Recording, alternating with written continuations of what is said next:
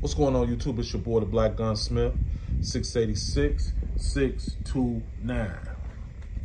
I made another purchase, YouTube. Um, I got the Glock 20 in the Gen 5, which is the 10 millimeter. I've been waiting on this gun. Um, I was going to get the Gen 4, and I said, you know what? Wait until the Gen 5 come out. Um, I think the first Gen 5 that came out was the Glock 19. And if you follow my channel, you guys know I got the 17, the 22, and the 21. But I always wanted the 20. Always wanted the 20. Um, I'm glad I waited. I'm glad that um, while I was purchasing revolvers instead of automatics, um, because I think the Glock, even the Gen 4, only thing different between the Gen 4 and the Gen 3, the Gen 4 with this here, the back strap. They started that with the Gen 4, but they pretty much all look the same. This gun here is totally different aesthetically, totally different. Um, this the MOS, put the red dot on there, um, has an extra plate you got the beaver tails, um, 15 round clips. come with three clips. It this is this is a beautiful Glock, man. I really love the way this Glock look.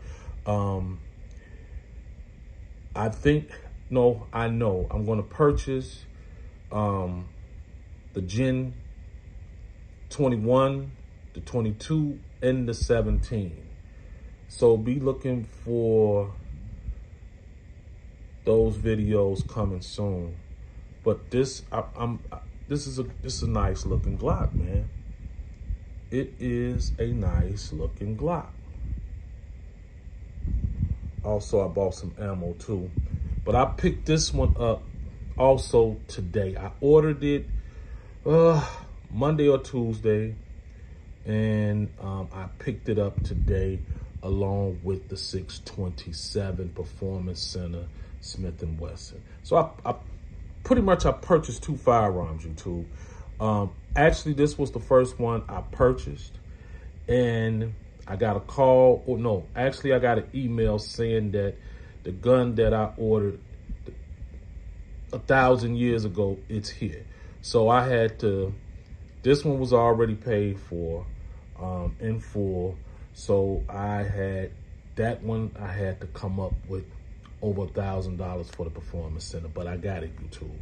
Um, I uploaded a video, so check it out. But anyway, this Glock 20 Gen 5, I'm really impressed, man. I am really impressed with the way this firearm looks because the last generations pretty much looked the same. Only thing that was different from the Gen 3 um, and the Gen 4 had the beaver tails and the replace, you know, you could switch them up.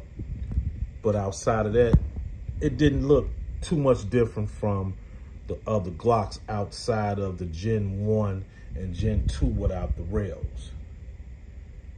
Gen 1, Gen 2 did not have the rails. They started the rails with the Gen 3, I believe. Don't quote me, but I am really impressed with this firearm. So now you guys going to be seeing me purchase new Gen 5 Glocks. Um, like I said, if you follow the channel, you guys know that I have the 17, the 22, the 21, um, the three of those are Gen 3s, 9 millimeter, 40 cal, 45. Nice looking firearm too. Beautiful. And when I seen this firearm, I knew immediately I was going to want the other calibers.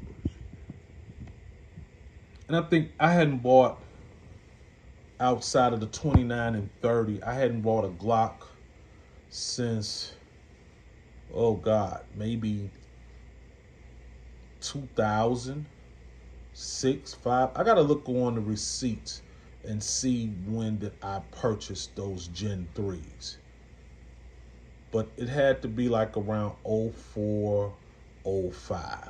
So, and then they're in good condition. Never did no torture with him Um, as father shooting, only thing I did was just go and requalify when I had to requalify for my security tan card. Beautiful gun. But anyway, YouTube, I just want to say, man, um, peace, love, um, be safe out there, and um, I'm out.